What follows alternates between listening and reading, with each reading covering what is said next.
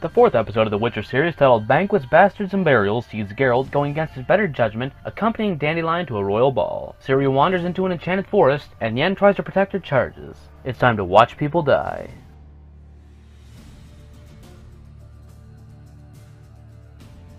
After hearing a story about Geralt dying to a ferocious beast, it turns out to be the other way around. No surprise. Whoa,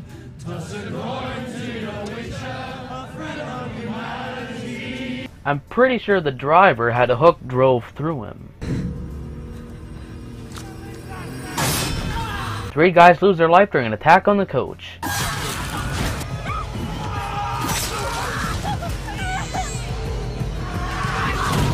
Oh, scratch that, not three. Counting the driver, that's 14.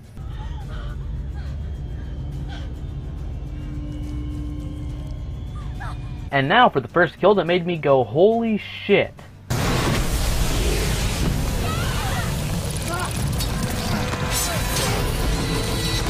What a breathtaking kill.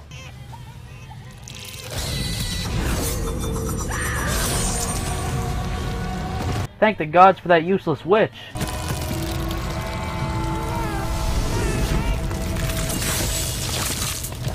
No clue what happened here. You tell me.